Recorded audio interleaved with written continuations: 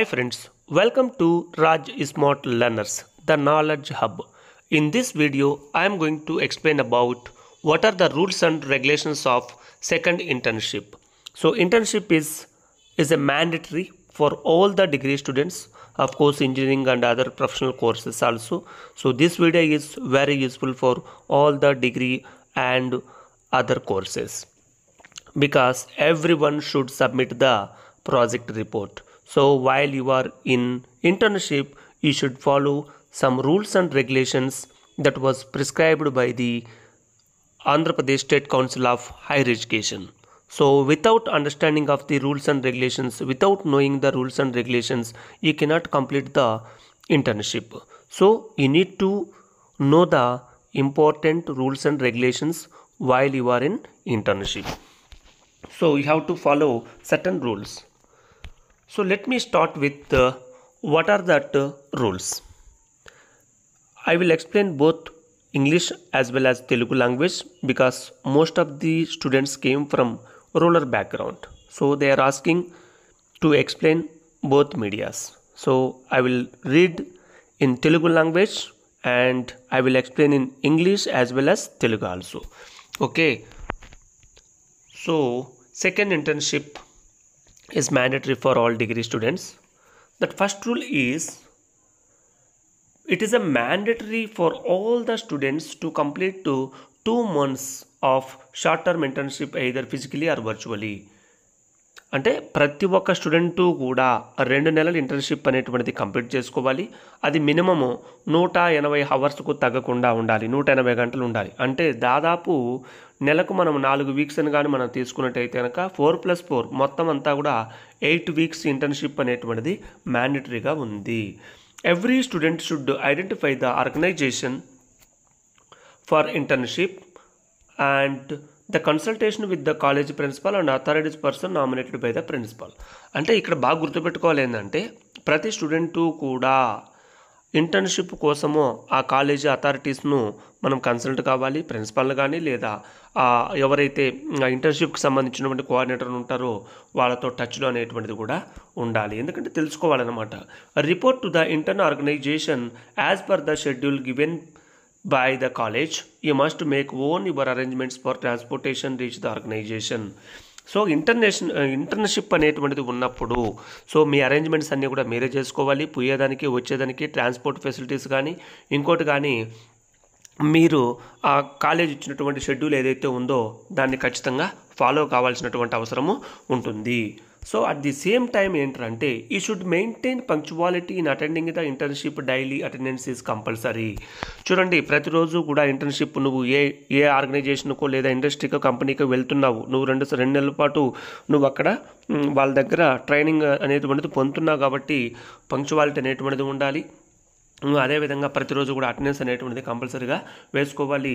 So you are expected to learn about the organisation policies procedures process interacting with the people working in the organisation and by consulting the supervisor attached to the interns ఇక్కడ చూడండి ఒక ఆర్గనైజేషన్కి వెళ్ళినప్పుడు నువ్వు organisation యొక్క policy ఏంటి policies ఏంటి procedures ఏంటి? అదేవిధంగా అక్కడ ఉండేటువంటి వాళ్ళతో ఏ విధంగా నువ్వు ఇంటరాక్ట్ అవుతున్నావు? అక్కడ ఉన్నటువంటి సూపర్వైజర్తో ఏ విధంగా నువ్వు ఉండావు అనేటువంటిది అన్నీ కూడా మీరు గమనించాల్సిన అవసరం ఉంది. అందరితో కూడా మంచిగా ఉండాలి సింపుల్గా చెప్పాలంటే. While you are attending the internship follow the rules and regulations of the intern organisation నువ్వు అక్కడికి వెళ్తున్నావు కాబట్టి ఖచ్చితంగా ఆ సంస్థ యొక్క రూల్స్ అండ్ రెగ్యులేషన్స్ను మనం ఖచ్చితంగా ఫాలో కావాల్సి ఉంటుంది. While in the intern organisation always wear your college identity card ఖచ్చితంగా మీరు ఇంటర్న్షిప్లో ఉన్నప్పుడు ఆర్గనైజేషన్కో కంపెనీకో ఇండస్ట్రీకో వెళ్ళినప్పుడు నువ్వు ఖచ్చితంగా నీ మెల్ల ఏం వేసుకోవాలి? ఐడెంటిటీ కార్డ్ అనేటువంటిది ఖచ్చితంగా వేసుకోవాలి. అదేవిధంగా if your college as prescribed dress or uniform wear uniform daily as you attended to your assign duties ప్రతిరోజు కూడా ఖచ్చితంగా యూనిఫామ్గానే ఉంటే కనుక యూనిఫామ్ వేసుకోవడం బెటరు ఇన్ కేస్ లేకపోతే కనుక మంచి డ్రెస్ కోడ్ ఏదన్నా మరీ చింపిరి చింపిరిగా లేకుండా మంచి డ్రెస్సులు బాగా ఫార్మల్గా ఉండేటి వేసుకుంటే బాగుంటుందన్నమాట. సో అదేవిధంగా ఇంకా మనము డైలీ ప్రతిరోజు కూడా ఆ ఇండస్ట్రీకి అటెండ్ కావాల్సినటువంటి అవసరం కూడా ఉంటుంది. He will be assigned a faculty guide from your college he she will be creating WhatsApp group from your fellow interns suppose your daily activity done and uh, a difficulty any difficulty you are facing so you encounter during the internship చూడండి మీకంటూ కూడా ఒక lecture అనేటువంటి ఆయన ఉంటారు. ఆయన supervisor లేదా guide అనేటువంటి పేరుతో పిలుస్తాము. సో వాళ్ళు వాట్సాప్ గ్రూప్ను క్రియేట్ చేస్తారు. మీ గ్రూప్లో ఉన్నటువంటి వ్యక్తులందరినీ కూడా అందరూ యాడ్ చేస్తారు. ప్రతిరోజు నీ యొక్క ప్రోగ్రెస్ రిపోర్ట్ అనేటువంటిది అక్కడ మనము పోస్ట్ చేయాల్సినటువంటి అవసరం అనేటువంటిది ఉంటుంది. అదేవిధంగా గైడ్ యొక్క సూచనలు సలహాలు ఎప్పటికప్పుడు మీరు ఫాలో అవుతూ ఉండాలన్నమాట. మీ గైడ్తో మీరు టచ్లో ఉండాలి. But at the same time that identify five or more learning objectives in consultation with your faculty guide. These are the learning objectives.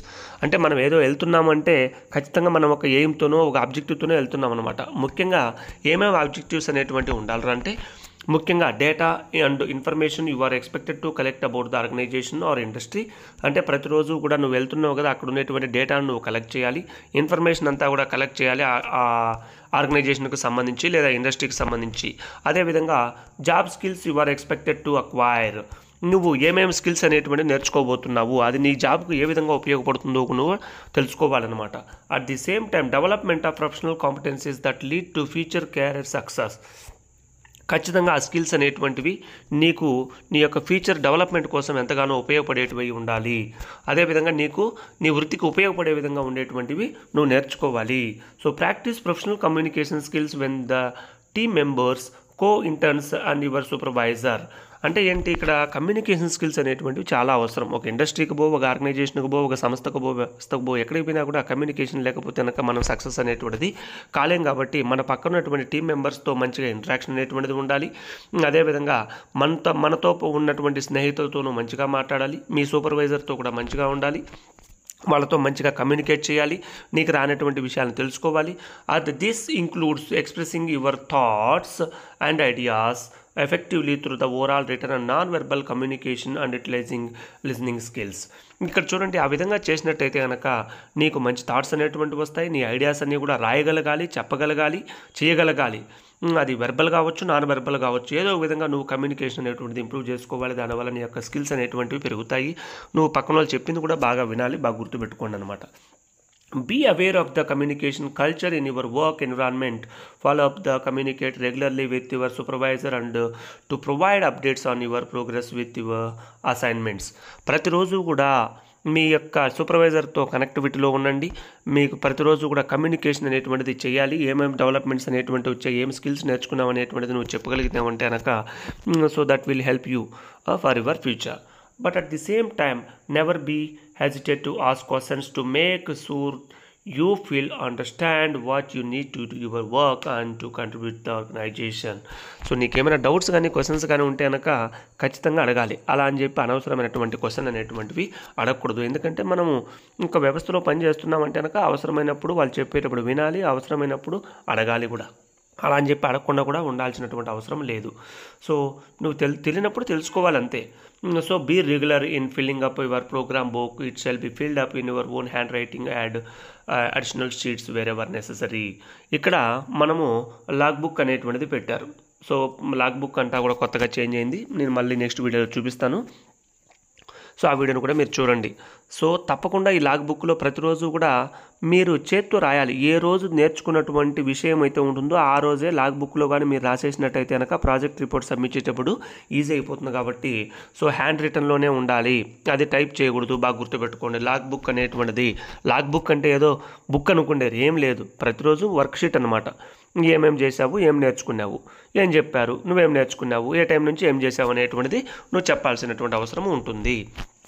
అదేవిధంగా so at the end of internship you should be evaluated by your supervisor of the intern organisation so internship అయిపోయిన తర్వాత నీ యొక్క performance అంతా కూడా evaluation చేసేది ఎవరు అంటే అక్కడ ఉన్నటువంటి మీ సూపర్వైజరు ప్లస్ ఆ ఆర్గనైజేషన్లో ఉన్నటువంటి హెచ్ఆర్ కావచ్చు లేదా ఆర్గనైజేషన్ ఎండి కావచ్చు హెడ్ కావచ్చు ఎవరైనా కావచ్చు అనమాట అదేవిధంగా there shall be also evaluation at the end of the internship by the faculty guide and the principal వాళ్ళతో పాటు మళ్ళా నీకు ఇచ్చినటువంటి సూపర్వైజర్ ఎవరైతే ఉంటారో వాళ్ళు along with the principal and other committee members also evaluated by your performance and skills and what you acquired the skills and all these things okay?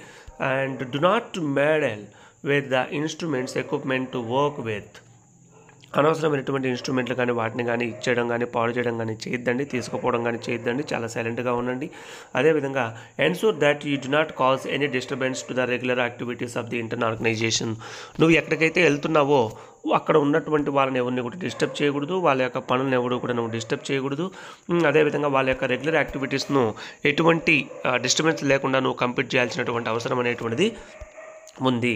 అదేవిధంగా be be cordial but not too intimate with the employees of the intern organisation and your fellow interns అంటే ప్రతి ఒక్క అక్కడ పనిచేసేటువంటి కొంతమంది ఉద్యోగస్తులు ఉంటారు. వాళ్ళతో మంచిగా ఉండాల్సినటువంటి అవసరం ఉంటుంది. కార్డియల్ రిలేషన్స్ అనేటువంటి మెయింటైన్ చేయాల్సినటువంటి అవసరం ఉంటుంది. సో వాళ్ళు ఏ విధంగా చేస్తున్నారు అనేటువంటి అబ్జర్వ్ చేయాలి. కొన్ని స్కిల్స్ అవసరమైతే కూడా మనము వాళ్ళ నుంచి నేర్చుకోవాలి. సో ఈ should understand that during the internship programme you are the ambassador of your college and your behaviour during the internship programme is at most important మనము కాలేజ్ నుంచి వెళ్తున్నాం కాబట్టి పలానా కాలేజ్ పిల్లలు అంటే ఓకే వీళ్ళు చాలా డిసిప్లిన్ అనేటువంటిది మనకు అర్థమైపోవాలన్నమాట. అంతేగాని ఈ కాలేజ్ పిల్లలు ఏంటంటే ఇలా ఉన్నారనేటువంటి విషయం అనేటువంటిది వాళ్ళకు రాకూడదు. చాలా డిసిప్లిన్గా మీరు మెయింటైన్ చేయాల్సినటువంటి అవసరం ఉంది. మన యొక్క కాలేజీని పేరు నిలబెట్టాల్సినటువంటి అవసరం కూడా ఉందన్నమాట. సో మీ బిహేవియర్ అనేటువంటిది చాలా కంట్రోల్లో ఉండాలి. సో అదేవిధంగా ఎమోషనల్గా ఎక్కువగా బ్యాలెన్స్ అనేటువంటిది చాలా అవసరము. So if you are involved in any discipline related issues you will be withdrawn from the internship programme immediately and discipline action shall be initiated ఒకవేళ ఆ సంస్థలో కానీ వ్యవస్థలో కానీ ఆర్గనైజేషన్లో కానీ కంపెనీలో కానీ నువ్వు సరిగ్గా పని చేయకపోతే లేదా నువ్వు కానీ మిస్బిహేవియర్ కానీ చేసినట్టయితే నీపైన యాక్షన్ తీసుకునేటువంటి అధికారం కూడా ఉంటుంది. నువ్వు ఇంటర్న్షిప్ నుంచి తొలగించేటువంటి అవకాశం కూడా ఉంటుందన్నమాట. So at the same time don't forget to keep up with your family pride and prestige of your college so నువ్వు నీ యొక్క ఫ్యామిలీ బ్యాక్గ్రౌండ్ గురించి ఎప్పుడు నువ్వు గొప్పగా చెప్పుకోవాలి. అదేవిధంగా మన కాలేజ్ ఏదైతే ఉందో సో ఆ కాలేజ్ గురించి యూనివర్సిటీ గురించి మనం గొప్పగా చెప్పుకోవాల్సినటువంటి అవసరము ఉంటుందన్నమాట. Mm, సో అదేవిధంగా ఇవన్నీ కూడా మీరు ఫాలో కావాల్సినటువంటి అవసరం ఉంది. ఈ రూల్స్ అన్నింటినీ కూడా మీరు ఫస్ట్ దృష్టిలో పెట్టుకుంటే మీరు ఇంటర్న్షిప్ అనేటువంటిది అద్భుతంగా అద్భుతంగా కంప్లీట్ చేస్తారు. చేస్తారు. సో ఇవన్నీ కూడా రూల్స్ అండ్ రెగ్యులేషన్స్ ఇవన్నీ కూడా గవర్నమెంట్ ఆఫ్ ఆంధ్రప్రదేశ్ వాళ్ళు సో యాప్స్ వాళ్ళు చెప్పినటువంటివి ఇవన్నీ కూడా ప్రతి ఒక్కరు కూడా ఫాలో కావాల్సినటువంటి అవసరము ఉంది. నెక్స్ట్ వీడియోలో సెకండ్ ఇంటర్న్షిప్ అనేటువంటిది చేసిన తర్వాత ప్రాజెక్ట్ రిపోర్ట్ సెకండ్ ఇంటర్న్షిప్ అనేటువంటిది ఆన్ జాబ్ ట్రైనింగ్ లేదా అప్రెంటిషిప్ అనేటువంటిది ఒరిజినల్గా నేను ప్రాజెక్ట్ వర్క్ తయారు చేసినటువంటిది మీకు చూపిస్తాను. అదే మెథడ్లో మీరంతా కూడా ఫాలో అయ్యి రాసుకుంటే వెనకంగా ఈజీగా ఉంటుంది. సో ఈ రూల్స్ అండ్ రెగ్యులేషన్స్ అందరూ కూడా ఫాలో కండి. లైక్ చేయండి షేర్ చేయండి. మీకు ఏమైనా డౌట్స్ కానీ కామెంట్స్ కానీ ఉంటే కనుక కామెంట్ సెక్షన్లో కామెంట్ చేయండి. మరిన్ని వీడియోల కోసం మా ఛానల్ తప్పకుండా సబ్స్క్రైబ్ చేయండి. So thanks for watching thank you thank you one and all